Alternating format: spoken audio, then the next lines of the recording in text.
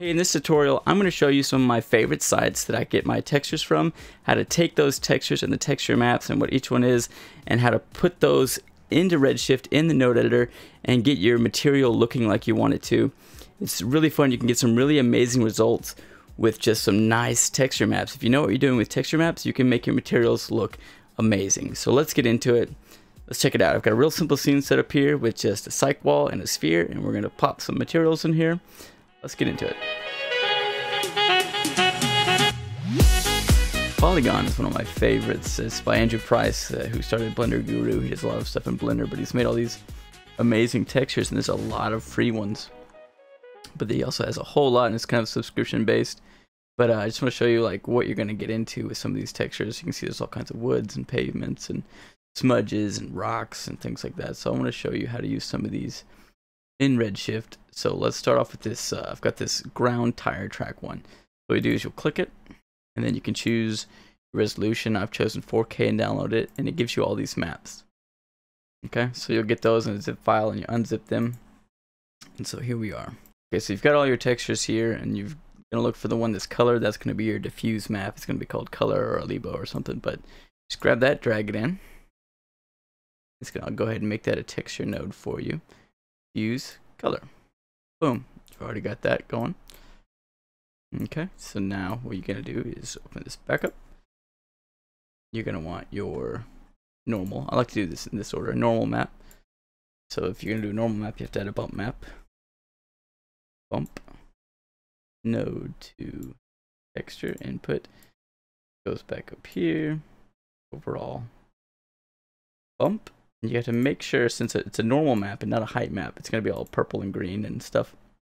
You need to make sure this is set to tangent space normal and not height map. Because height map is for black and white uh, bump maps, and this normal maps are always the fun purple, green, blue colors. You need to make sure that's set to tangent normal, so that's going to actually make it read that map correctly. Okay, and the last thing we're going to need to bring in here, well, not the last thing, actually, we're going to take this gloss map, and we're going to take this gloss, and we're going to plug that into reflection, reflection, weight. So then we're going to take this placement, bring that in, we're going to add a displacement map. We're going to go input to that, texture, texture map. Grab this and we're actually go to the output with displacement. That's where you put your displacement. Okay, so what we're going to do is we're now going to take this material we've made, add it onto the sphere. You can see already it's got it's pretty nice looking. But something's just not quite right about it. And so we've got our sphere and it's uh, 64 segments so that's pretty high. It's not great, but what we need to do to make this displacement work with the Redshift model, we got to add a Redshift tag, Redshift object.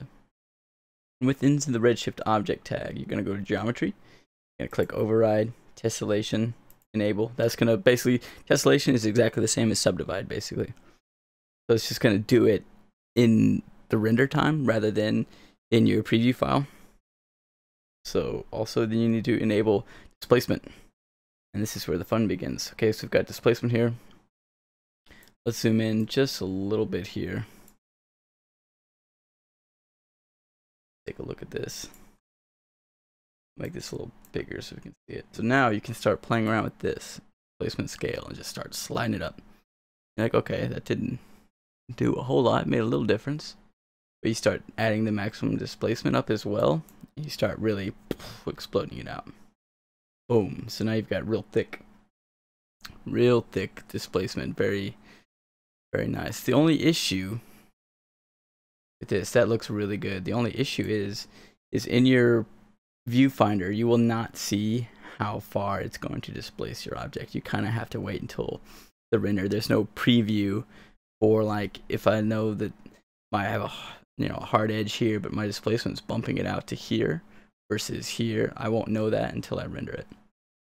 So you just have to keep that in mind when you're rendering things because sometimes you can get things intersecting stuff if you displace it out too much. But that is looking really good for some mud. So that's it. You know, you've got this nice, nice dirt material there. So you want it to be a little muddier. Let's go in and look at this gloss map. And let's unplug that from the reflection weight and actually plug that into the reflection roughness. And that's going to just give us sort of a, a wetter mud look.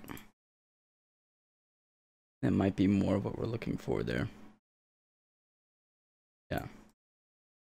Really nice. But some other sites I like, such as uh, textures.com, is fantastic. But when you're using the free things, you're kind of limited to a lower resolution. And you have X number of credits you can spend.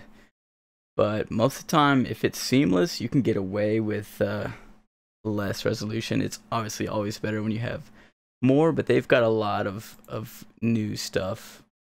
They've got a lot of good um, HDRs. They've got new 3D scans, 3D brushes, and all kinds of things. So definitely check out this site. I mean, you can just scroll through this forever and some really cool stuff. They've apparently partnered up with some Substance stuff to get that going in there.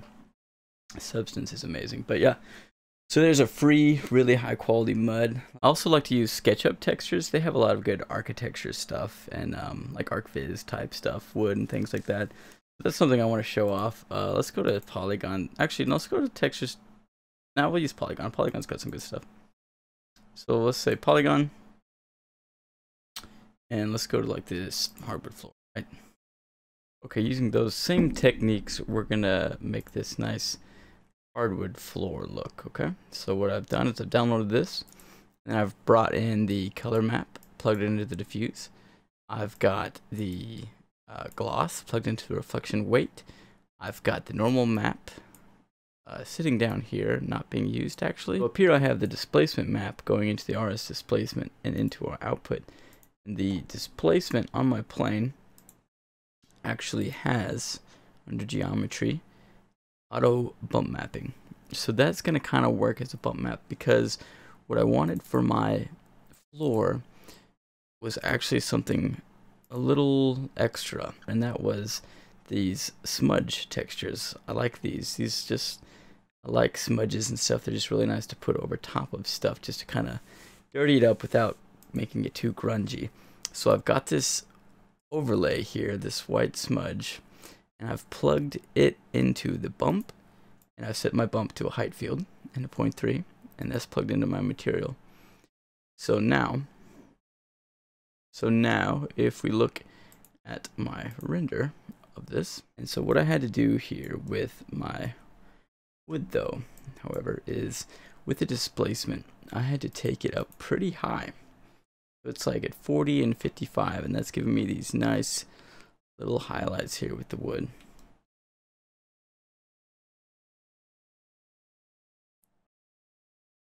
So you can see in the render of this, you've got these this really nice little extra detail touches that kind of just look like sneakers and stuff have kind of rubbed away on the finish of the floor over the years, and this kind of adds this extra realism, photorealistic detail to it. It's something that's not so imperfect that a client wouldn't approve of it, but it's also not so perfect that it looks fake. So it's just nice to sort of add these little scratches and things to your floor, and they just when they catch the light just right, I mean they're they're fantastic looking. So yeah, awesome, awesome stuff. So here's an example of a scene I made uh, using those exact same principles. Uh, I believe the brick is actually uh, Grayscale Gorilla's Everyday Materials collection. Uh, it's a fantastic pack of textures. The leather is also that. The wood is that. Um, I love Grayscale Gorilla, and they just always provide some great stuff. Uh, you can check it out on their website. I'll put a link below. Um, actually, if you go through my Toolfarm link below, uh, it'll actually help support me. So if you want to check that out, I'd really appreciate that. Use that link. But um, I mean, they have just a ton of great textures, and you can tell here it's like plug and play, same kind of way. The only difference is with Grayscale Gorilla's textures, uh, you don't have to hook anything up you can just bring them straight in and you don't even have to mess with them. So they're they're really really nice. The only thing you have to add is if you have something like your displacement here for the brick, you would obviously have to add that and the geometry to your uh, to your plane back here. But that's that's what's going on with this this brick wall and this leather and everything. It's just like the IOR is perfect. The reflection's nice. The bump is nice. The coating on this fine wood for this Eames chair is perfect, along with the hardwood floor. It's just a little rougher. I mean, it just everything looks really nice.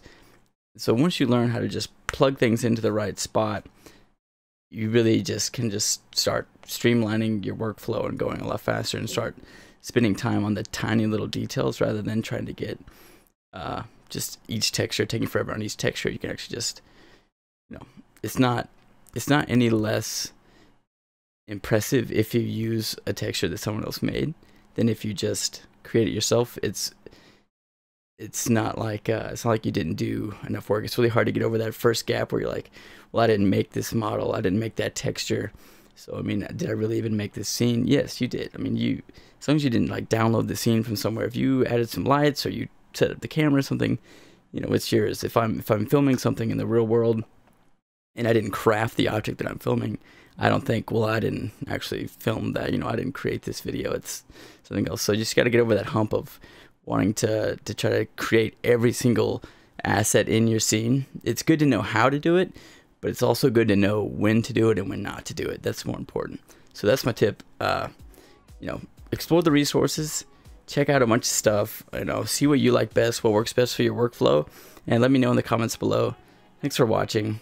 See you guys next time.